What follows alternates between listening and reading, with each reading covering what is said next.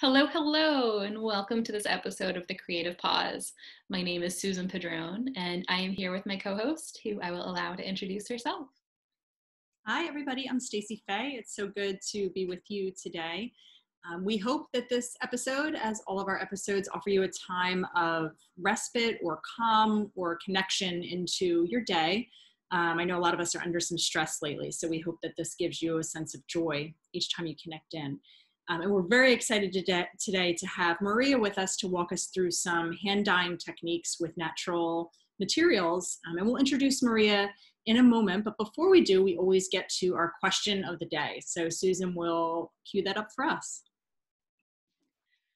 So uh, we always ask a question um, at in every episode that we've done so far of the creative pause and we always welcome our listeners our viewers to take the time to answer the question as well. You know think about it journal about it whatever you feel called to do in the moment.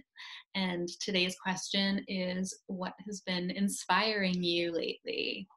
Um, and I always struggle with answering these questions, which is simply because Stacy and I discuss them and we agree upon them. And I'm always like, uh, what am I going to talk about every week? But I guess you guys are used to that at this point.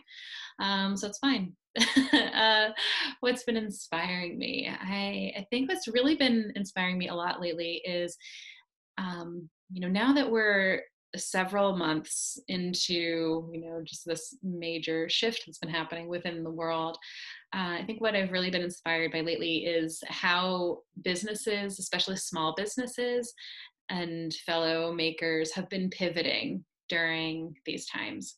Um, you know, I I just love seeing how people have been able to take that step back and examine, okay, what's been working, what hasn't been working, what direction do I need to go next, and seeing how people are tackling those obstacles and turning them into successes and wins has been really inspiring for me as a, another small business owner. So, Stacy, what about you? What's been inspiring you lately?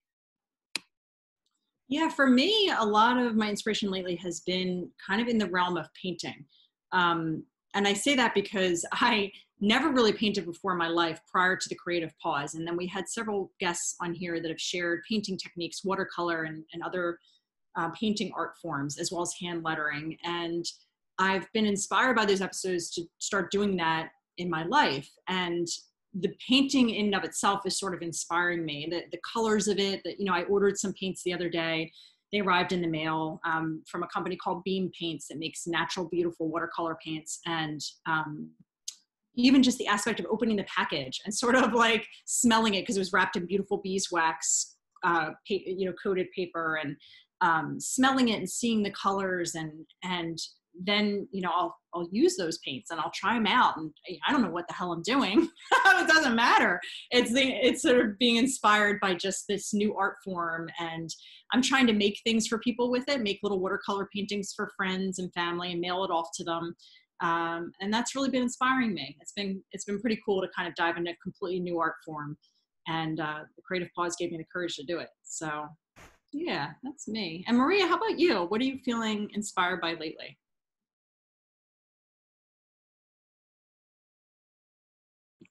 I am definitely inspired by summer. Um, I love this. My family, we love this season. Um, most of all, probably um, but just, you know, the hydrangea that are blooming in my yard, the fragrance of them, the richness of color, vibrancy um, is inspiring me um, to create more things, uh, to experiment with the natural dyes that I love using, um, and also just looking out there and looking at. Um, I'm inspired by the creatives that are, you know, painting, such as yourself, Stacy. Whatever you're, you know, you're you're you're creating yourself, Susan.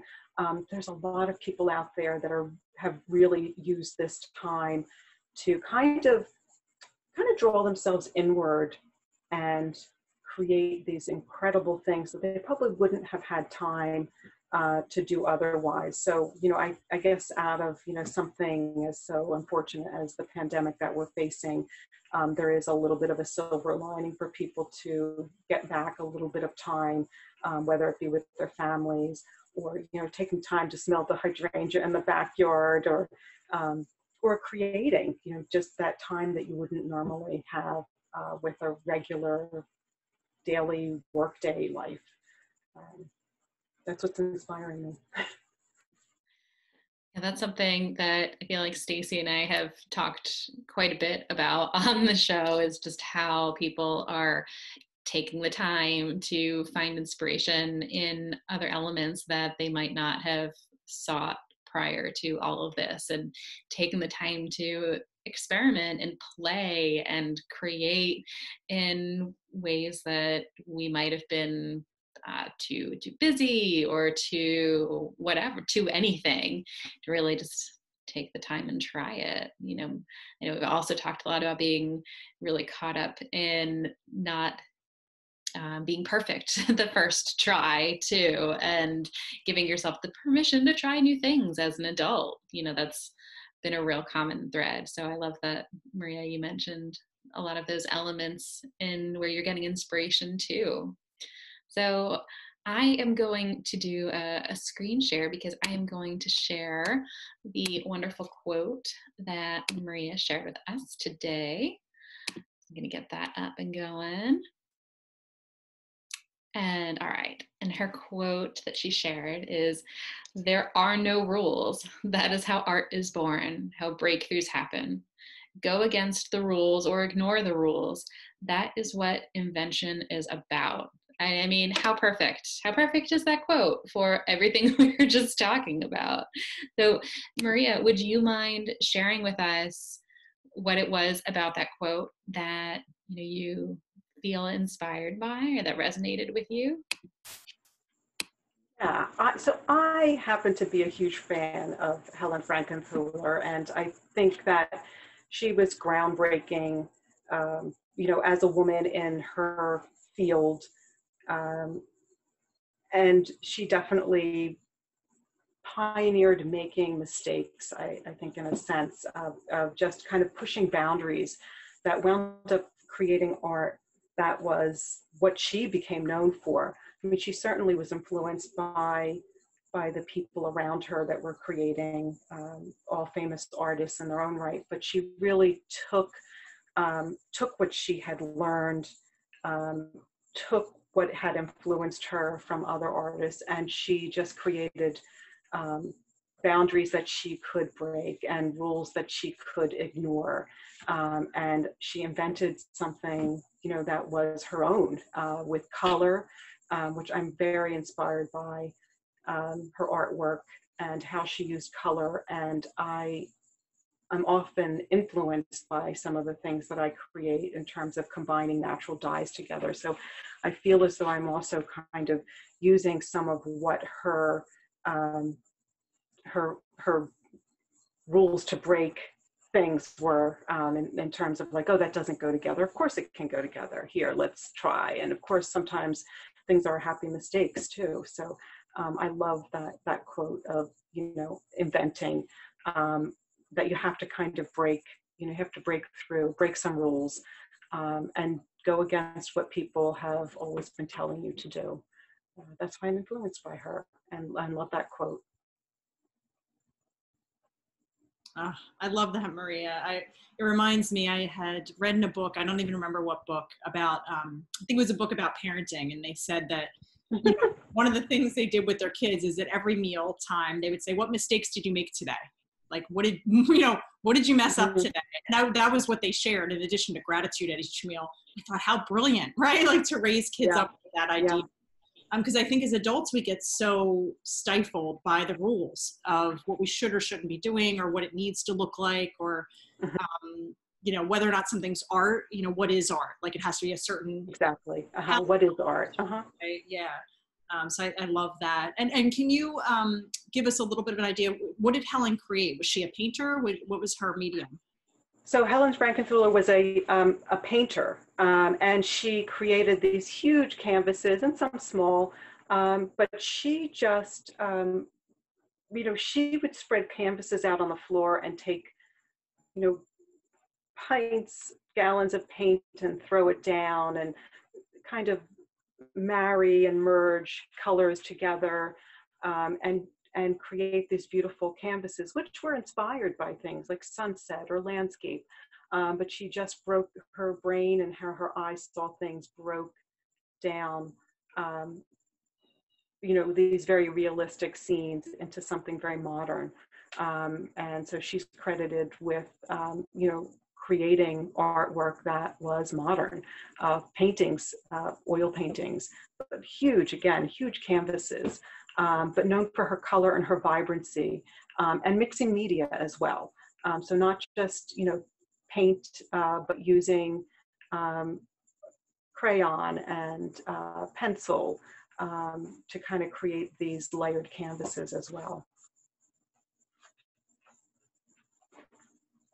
That's awesome. Thank you, Maria, for sharing that. Um, well, I'm very excited to have Maria Maurio here with us today. She is an artist I met locally several years ago, probably two or three years ago. I'm not sure. And I'm actually wearing her work on my my neck currently. Um, Maria does absolutely gorgeous, naturally dyed scarves and dresses and um, beautiful adornments for you know that you can wear on the body that are you know again dyed naturally and also she uses a lot of sustainable fabrics. So um, the business is sustainable. Everything she creates is beautiful and it's all done by hand. Um, and maria is going to share with us today a technique for doing your own hand dyeing at home using avocados and indigo and um, she's going to walk us through that. So i'm very excited about maria. We'll share more about maria at the end of the episode of where you can find her um, but we'll let maria take the stage and share with us um, her sort of interesting natural concoction here that she's using to dye her fabrics. So thank you so much, Maria, for being with us, and you can take it away. So thank you both for inviting me. I'm very excited, um, and I was saying this earlier. I think what I am about to share with you all are two things that you can easily do at home. Um, one is super easy, and it's going to be talking to you about the avocado. Um, and creating a dye bath um, that you can do with your with your by yourself of course or with children. This is super easy um, non-toxic um, and uh, really just a beautiful uh, way to use food waste as well kitchen waste um, as a dye bath. Um, what i also am going to show you is creating a natural indigo vat i only use um, GOTS certified indigo and I only use a natural fructose vat. What is that? Um, Michel Garcia is a famous indigo dyer uh, and researcher, scientist, and he created an indigo vat called the 123 indigo vat. Indigo, natural indigo, needs uh, needs to be reduced. It's not. It's one of the only dyes um, that is not dissolvable in water. Uh, so it needs to have um, a suspension, a liquid, um, and a reduction. So fructose reduces, takes the oxygen out of that dye vat and makes, and, and kind of just makes the indigo molecule come to life. And that's what winds up on your clothing, uh, staining it and making it pretty much permanent. But um, I love the, the uh, history of indigo. Uh, it's been in use for over 6,000 years. Um, and I'm sure every day brings new discovery that's making uh, that um, that 6,000 year uh, foundation probably uh, old old news. Um, so I am going to get started because um, we don't have that much time, but I'm going to show you dyeing my, with my two favorite combos, uh, avocado seed, uh, seeds, uh, pits, um, and indigo uh, first to get started. Eat a lot of, make a lot of guacamole, avocado toast. Um, we eat a lot of avocados in the house. Uh, the stones are the most important part of the dye bath. The, the stones, the avocado stones contain tannin. And what the tannin does is it, it adheres, it helps uh, helps the color of the stone adhere to the fabric. So that tannin is a natural tannin and this tannin from the avocado stone, if you've ever broken open, cut open the stone, um, actually has a little pink, peachy pink coloration to it. And that's the color that uh, you will create with your dye bath. So um, you can use these right away or you can dry them. I've got a dried um, a dried skin, avocado skin. You can use as many as you want, but you need a decent amount of avocado stones um, to make a really dark dye bath. I would say um, anywhere between 10 to 30 stones um, in combination with skins will give you a really beautiful, deep pink, peachy pink dye bath. Um, so make sure you, if you're going to save your stones, make sure you scrub them and clean them of all the flesh. You can see this is pretty clean. There's nothing green stuck to it. And as well as the, the skin is clean. And I use a spoon to scrape out any excess. Um, again, you can use these right away. You can freeze them if you have room in the freezer, um, or you can dry them. So we often leave these out on our windowsill to dry. I haven't found a, dif a difference in color, whether I'm using fresh or dried. So that's just to note um, for anyone just starting out, um, you're going to get a beautiful peachy pink. But again, have at least 10, between 10 and 30 stones or skins um, available for your dye bath. Um, so here we are with a nice amount of dried stone uh, skins. And I'm going to just tilt my camera down so you can see this beautiful dye bath. Um, this has been sitting, and I think that you can see there's this beautiful kind of peachy pink um, dye bath that's already started. Um, and I'm just over the pot here. And this is amazing.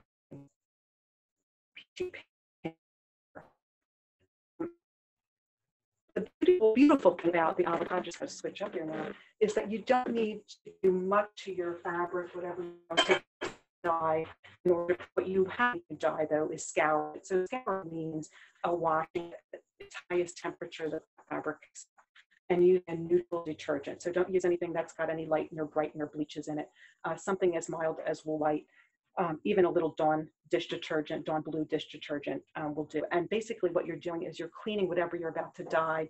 You're cleaning any grease, any lifting any final stains out of that garment that you're dyeing um, and prepping it for dyeing. So um, we have an old t-shirt and I'm hoping that you can see this beautiful peachy pink. Let's try and get in here. Um, and it's really got this lovely little peach hue um, and it's been scoured um, and then put into the pot wet. You want to wet everything before you put it into your dye pot and then put in your dye pot and kind of it around me. It's kind of submerged. More liquid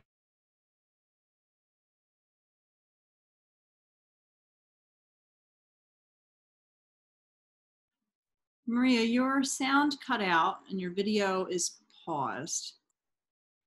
Oh no, are you there? okay, is that going, okay. We can Um, again, yep. Okay, good. Okay, so, um, so take your garment that, or anything that you're going to dye, make sure that it's wet, wring it out, um, and then pop it into your dye vat.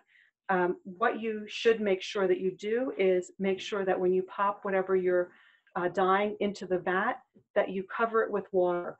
Covering, adding more water to your dye pot is not going to dilute the, the dye um, because the molecules are already there. Um, they're not going away. Um, they will adhere to whatever you're dyeing, um, so you don't need to worry about adding water, diluting, um, and you're just wanting to cover whatever you're dyeing in the pot. So um, this has already been dyed and I'm, I'm hoping that you can see this beautiful, lovely pink, peachy pink. Um, and I'm going to just step aside and I'm going to show you a little bit of indigo. I have already started my, my indigo uh, vat starter. Um, basically, I've taken about one third of indigo and two thirds of calcium um, pickling lime and three thirds of, um, of fructose. So I only make a natural indigo vat. And that means that there are no caustic chemicals that go into making this vat. Um, it's a super easy vat to make at home. Um, however, I will say if you make an indigo vat at home, everything that you use, actually for any natural dye, all of the implements that you use must be used only for dyeing, natural dyeing. Even if they're natural dyes, they still may, may contain some substances or some chemicals that might not agree with others and may even be, um, you know, kind of not healthy in large quantities. Um, the avocados, you can see my avocado bath is in one of these steel um, bowls. I picked these up at yard sales, um, Salvation Army, Goodwill. So everything that I use for dyeing is only meant for dyeing and I take it out of the kitchen when I'm when I'm finished. So back to the indigo. Um, this is my beautiful jar of indigo. Um, everything is in a jar. I add a little warm water, stir to dissolve, cap it. Um, air is not kind to indigo. It winds up uh, taking away and reducing that indigo dye um, molecule. And you need that to adhere to the fabric. Um, what I've done is I've already taken my reduced jar of indigo and I poured it into a vat.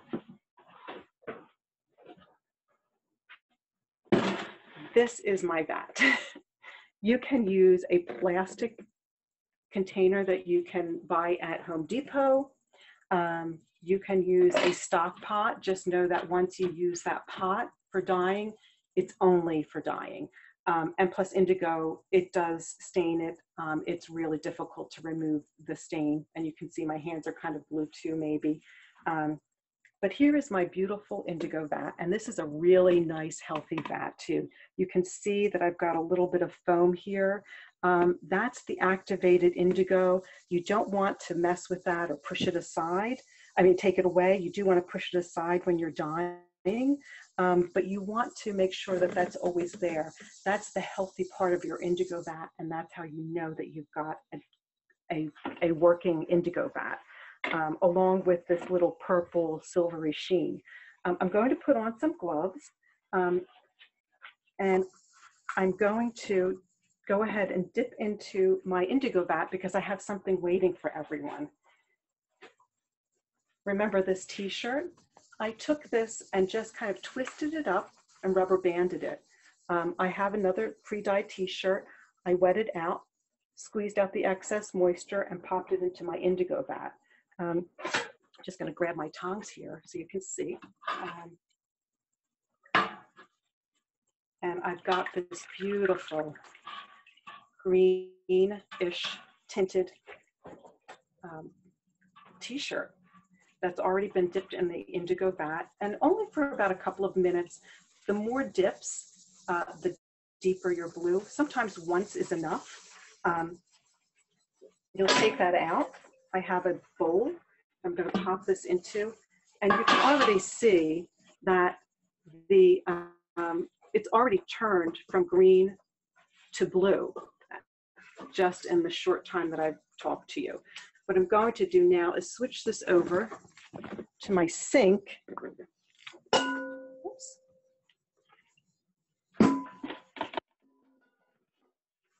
And I'm going to start rinsing. And the key is to rinse I'm going to untie this and and as I open it, I'm going to rinse.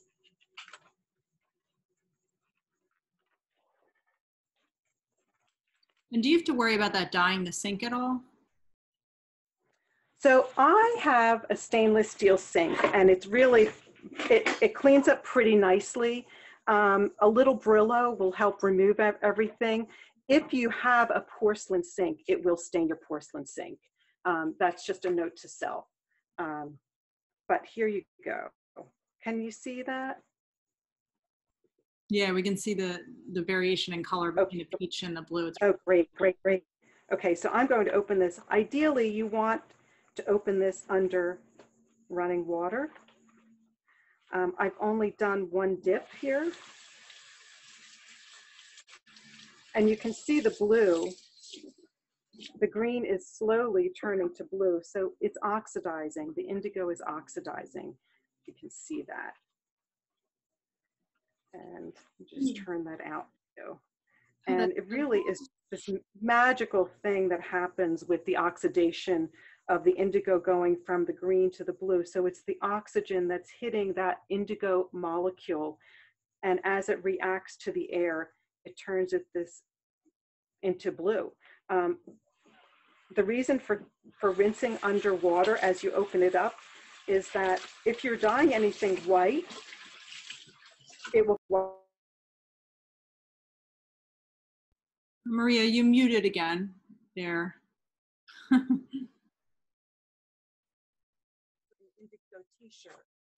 Sorry about You'll that. Keep it running water. and you'll keep your whites white, your white areas white. Um, and as you're running it under cold water, you're also kind of getting rid of these um,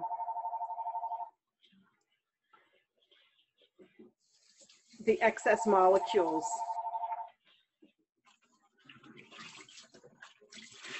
That these loose molecules um, that are, and I'm going to just turn this to myself and whoops. And I want you to see that. So. Oh, it's so pretty. Hopefully you can see that. And it's just, I'm going to just get some sunlight on this too, this beauty. Um, maybe, you can, maybe you can't see it. Um, yeah, so you've got this beautiful, this is one of my favorite color combinations, and I use this on silk a lot too. Um, you just get these beautiful sort of soft, muted pink, peachy pinks with the blue.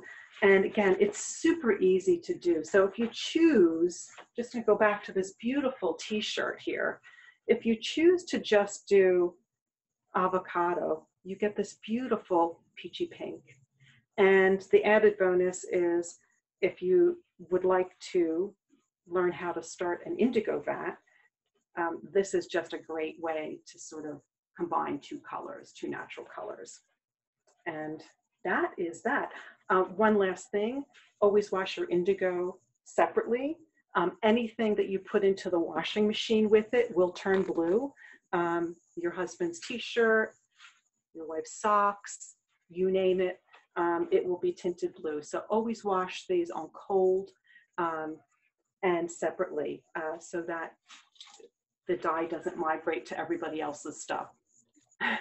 So Maria, and, if you like threw in a bunch of your like other t-shirts and socks into your wash with your indigo stuff and just like wrapped it and put you know the like rubber bands on it would that be like a yes. a batch tie dye kind of situation in your washing well, machine? well that would be uh, that would be really great but that's a shortcut and don't you want to get your, your hands deep into indigo um, so the thing about the indigo is you really should be rinsing it in your sink um, under cold water until you really don't see any blue. You have to have some patience. So some of some of you will be trying this and and hanging over the sink and going, oh my gosh, it's still blue. Um, have some patience. It'll take you a few minutes to rinse, depending on how much indigo and how many dips you you've done in your indigo pot. And when I say dips, you should take your item, lower it in gently, don't splash around, let your indigo item sit underneath, maybe hold it and massage it a little bit for about a minute, um, pull it out, have that drip bowl to catch any excess and um, put it back in. So every time you dip it, you make it darker and then you take it out, you let it rest and oxidize.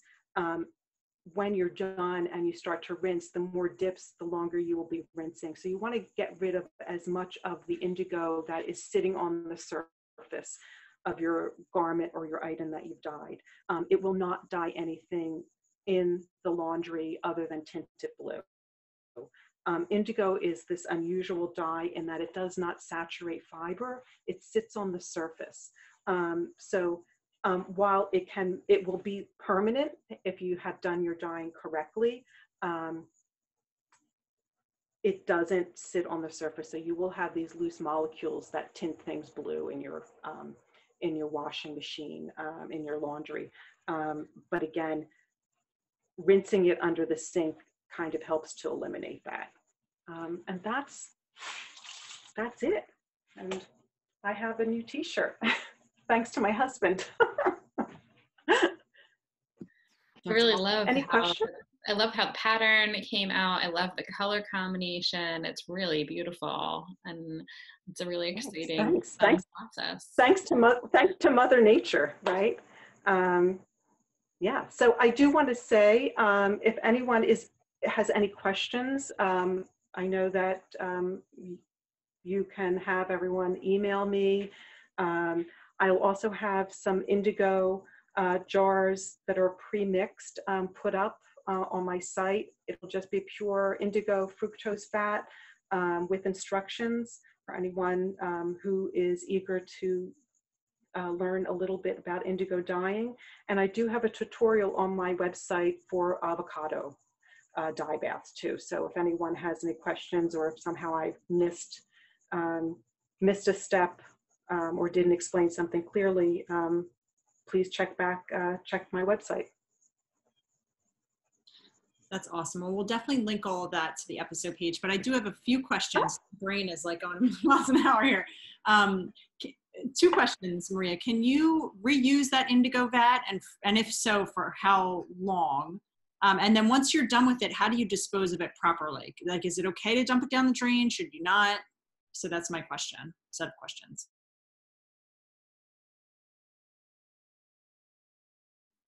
Maria, looks like you froze for a moment. I'm not sure if you can hear us.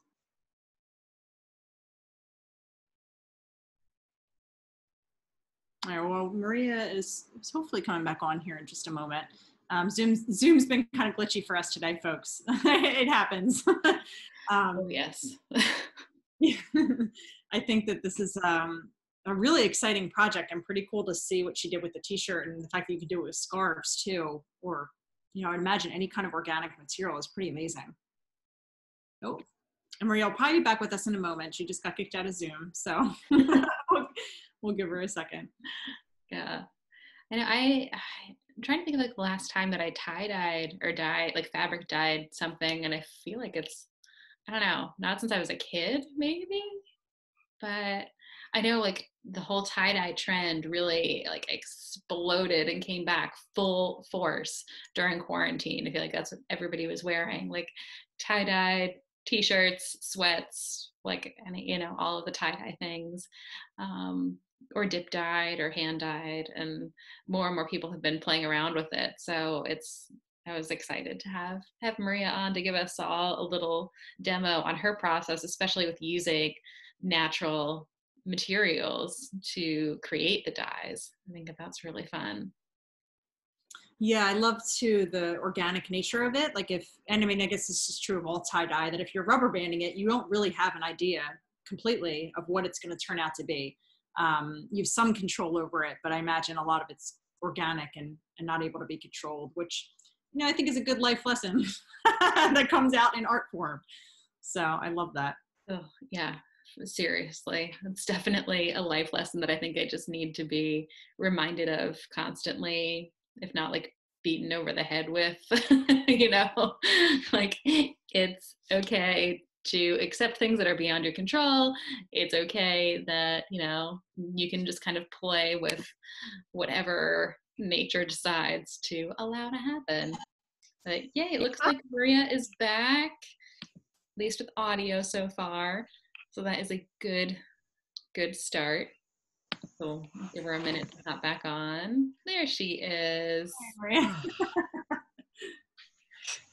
um, we're, we were talking about how um, the kind of organic uh, nature of the process, like you can't necessarily 100% control what it's going to look like. Um, you know, once you pull it out of the vat and rinse it out and, and open it up, I think that that's a great life lesson in terms of this art form.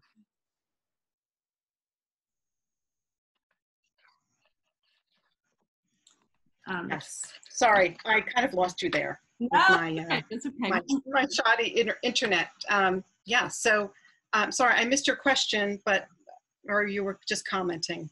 Yeah, I was commenting, but I do have a question, Maria, which is Yeah. actually, um, and this is when you cut out before. How many times can you reuse that vat of indigo, um, if you can, and also how do you dispose of it? Okay, so um, if anyone is interested in maintaining a vat, your vat can stay, you can probably keep your vat for up to six months. Um, but in doing so, you need to feed it. Um, so that requires that you feed it extra fructose. Um, now, I purchase, um, I do purchase um, fructose crystals, but now is the perfect time for all of those fruits that you're we can buy at farmers markets and you know things that have you know if you have a few peaches at home and one starts to go bad don't throw it away. Um, what i do is i put them into the refrigerator and then i make a mash with the fleshy parts of of most fruits. Again i can help anyone who's interested um, maintain that vat. Um, you will need some pickling lime uh, as well. Um, that's the calcium hydroxide. I might be getting that wrong, but um, you need those combinations with your indigo in order to keep feeding it and keeping uh, a balance in the vat. So it can go on if you maintain it for about six months. I've had them a little longer than that, but safe to say, um, you know, if you're not going to do anything with maintaining it, it'll probably be done within a day of you using it, um, maybe even afterwards. But um, about 50 grams of indigo um, will give you some dark to medium shades, and then you can progressively keep dipping other items like socks, uh, maybe some linen napkins into your vat, and you'll get some light blue colors. Um, when it's done, it's done, and you will know it. You will not, um, you will not see any blue adhere to your cloth, and if it does, it's not permanent. Um, and when you go to wash it out, um, when you go to wash your or you know rinse your item, you'll see that the indigo kind of um, dissipates and um, it does. It's not permanent. Um, and as far as it being a natural vat, I have. I'm fortunate to have a decent sized backyard. We don't have an acre or anything like that, but I compost. Um, so I take my vat when I am finished with it when it's absolutely what we call exhausted, meaning there isn't any more uh, pigment left in the vat. And I dump that vat into my compost and I turn it over. After all, it is a natural, they're all natural ingredients. Um, so it mixes in and it's fine. You can dispose of it down the sink. Um, a lot of the, the people and the websites that I that they post on that I follow um, will say to kind of cut and dilute with a little bit of white vinegar, um, about a cup. It kind of neutralizes everything, and then you can safely dispose of it in your kitchen sink. Um, so there's two options. Um, again, you can you can choose either one. Um, you can also decide. So this is what um, someone I admire, dog, the Dogwood Dyer, does. Um, they take their uh, spent vat and they let it dry out. And at the bottom of that vat or that small cup are is the residue of the indigo, which you can then, Stacy, turn into natural paints um, and inks. Um, I haven't done it, but there's a lot of information out there in terms of um, experimenting and kind of coming up with, um, you know, some natural dyes. So um, if that answers your question too, in terms of how to um, use up your spent indigo vat, you virtually don't have to let any of it go to waste if you don't want to, um, and which is keeping with you know sustainability, you know, all that good stuff. That's amazing. I love that. Thanks for walking us through that too, because I know a lot of people will be thoroughly confused as to what to do with the vat of it, you know, when it's done. Um, Yes. yeah, and I think one other question, but I don't know, Susan, if you have any others that you want to jump in with. Okay. So my only other question, Maria, I think was, um, are there any materials you can't use for this, or are and are there materials that are particularly good with natural dyes? Yeah, great question. Um, so with indigo, you can dye virtually anything. Um, I have dyed, um, I, I mean, I am a natural dyer. I use only natural fibers, um, but indigo will dye just about everything uh, without any prep. The beauty of indigo, and I should mention this and backtracking a little bit, is that indigo does not require a mordant. So your avocado stone has a tannin in it, which is a mordant. A mordant in French means to bite, which means to attach to something. So a mordant will is a uh, you know I use a uh, alum, um, which is a naturally occurring metal. Um, I make a bath using that, and I put everything that I dye into that a vat um, to pre-mordant, so to kind of prep it so that dyes adhere to the surface. Indigo is the only dye, uh, natural dye that does not need that process. So you can dye virtually everything and anything that you that your heart desires, um, including I have I live in an older home, so my wood cabinets are dyed indigo, pretty permanent. Um, you can dye uh, basketry, uh, beads, wood beads. Um, if you want to experiment even with straw hats, um, polyester. Um, I even had actually something, um, a um, kind of like a nylon cover, and I dyed it with indigo. I mean, it's not going to give you like super vibrant uh, blue that you would get with a natural fiber, but indigo dyes just about everything, and including nails and things like that and skin. Awesome. Well, thank you so much, Maria. This has been amazing. And I know that I'm excited to try this out as, as I'm sure our audience will be too. Um, so we will on the episode page link all of the information about Maria and her website and where to find her, um, as well as her Instagram page where you can see all of her beautiful work. Um, and as Maria mentioned, she also has those sort of ready to go um, mixes that she'll she has on our website so we'll link to that also. So those of you who don't want to go to the trouble mixing it yourself necessarily you can just um, get those from maria. So thank you so much maria for oh. tutorial. This has been amazing. Thank you thanks so much for your patience for uh, my technical difficulties but um, thank you again really uh, for for inviting me and i love sharing um, and i loved joining you and uh, offering this to all of your listeners something to try at home. Thank you so much, Maria. We really appreciate having you on. Yeah, thank you so thank much. You. Thank you, everyone who is there watching. Um, as always, we end with the galvanizing quote of What will you do with your one wild and precious life? So, thank you all for being with us, and we will catch you in the next episode. Have a good Bye. day.